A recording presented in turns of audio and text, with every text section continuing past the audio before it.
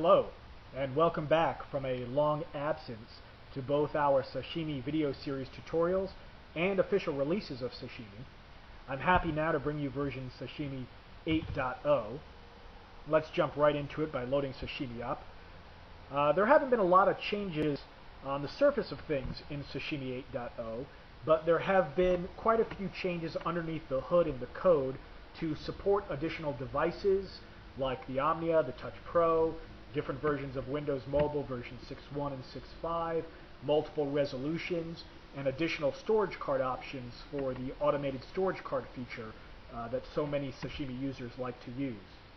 Uh, I urge you to definitely read the documentation of Sashimi 8.0 and the release notes to make sure that you're fully aware of all the new features and all of the old features and how to use Sashimi. If you have any questions uh, or, or requests for Sashimi, any problems with it, please visit us at the forums at www.winmo-experts.com, which is shown right here on the main Sashimi screen. Let's go ahead and jump right into some of the changes in Sashimi 8.0. One of the biggest changes you're going to see on the face of things is in our settings menu. We have a new advanced settings menu, which has taken together a lot of the miscellaneous settings from previous versions of Sashimi, as well as some new settings here. And a couple of the settings I just want to point out, all of these are covered within the documentation, is that on previous versions of Sashimi, when you have run and install in auto mode, the auto phase, at the end of the install, Sashimi would not reboot the device, but would rather just exit. Uh, the new default behavior is to automatically reboot when it is completed. However, if you wish to change that back to the old behavior, you just simply need to double click on the option here and you'll see it has toggled that setting to off. The next advanced feature that I want to explain is for those of you who have had troubles in the past using Sashimi's automated storage card install. Sashimi's behavior in version 8.0 works like this. Whatever location you have installed Sashimi to is the location that Sashimi will use to install cabs when you place them in the SC directory. So if you have installed Sashimi to your storage card, or you have installed Sashimi to internal storage, or you have installed Sashimi to my storage, that is the location that any cab files that you place in the Sashimi SC directory will get installed. But what if you have multiple locations? Let's say you have both a storage card and a My Storage location, and you've installed Sashimi to your storage card. But you want Sashimi to automatically install cabs to your My Storage location. This is where the alternate storage location comes in. In this location, in this setting, we define the location that we want Sashimi to install cabs to. So let's say I have a My Storage location, and that's where I want Sashimi to install the cabs to. That's what I will type in here.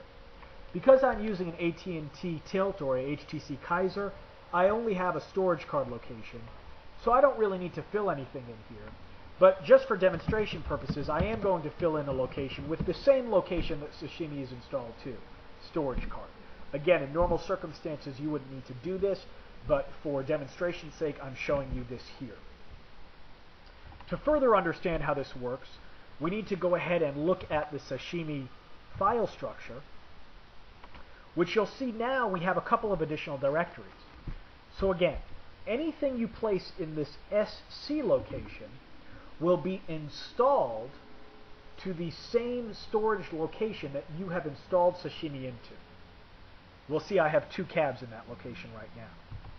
Anything I place in my ASL location, which we'll see we've placed a single cab, will get installed to the location that I've defined in Sashimi's alternate storage location setting, which again, we have specified as storage card. So in my case here, both these locations are the same. But that won't necessarily be the case on your device. There's also a new directory called the skip directory, and any cab files that are in here will just simply be skipped. So if you want to temporarily move some cab files out of the auto install, you can just move them into this directory. We see we've got one cab file there now.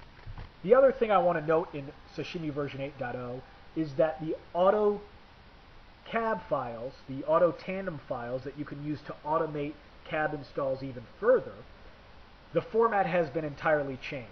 We'll go ahead and we'll open up this auto file and you'll see it, instead of looking like a MortScript file like it did in previous versions, it looks like an ini file. So if you were using auto files with previous versions of Sashimi, you will need to recreate those, but the format is much simpler now. You simply define under the auto file where you want it to be installed, 0 being device memory, 1 being the SC location, 2 being the ASL location. You define the window title that's going to need to be automated, and then finally you specify the script commands that you want Sashimi to execute.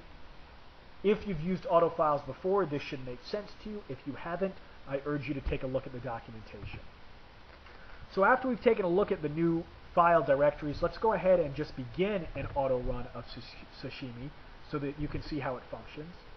So what we should expect, again, is that everything in my ASL location gets installed to the ASA, ASL, which in this case is storage card. Everything in the SC location gets installed to where Sashimi is installed, which in this case is also the storage card. Everything in the skip directory is skipped, and that my FlexMail file here, because it's using an auto file, will be fully automated. Let's go ahead and initiate an auto phase install.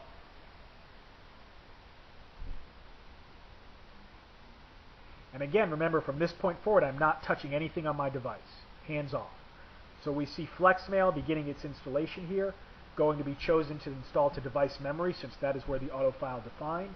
And the auto file also automatically accepts the license agreement since we put those appropriate commands in the auto file.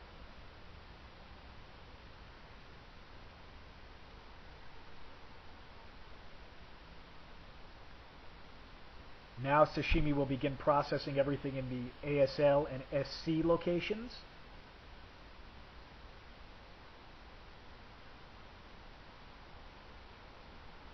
Okay, we see they're being chosen to install to the appropriate location, storage card.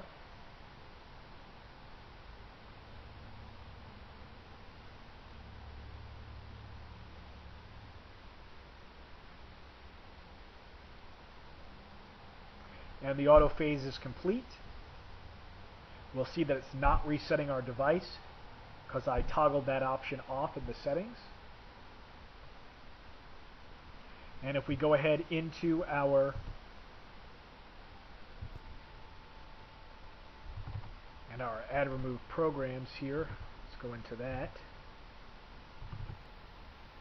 And we'll see that our cabs, there's one cab that got installed, our second cab that got installed, uh, our third cab that got installed. Down at the bottom is our FlexMail that got installed.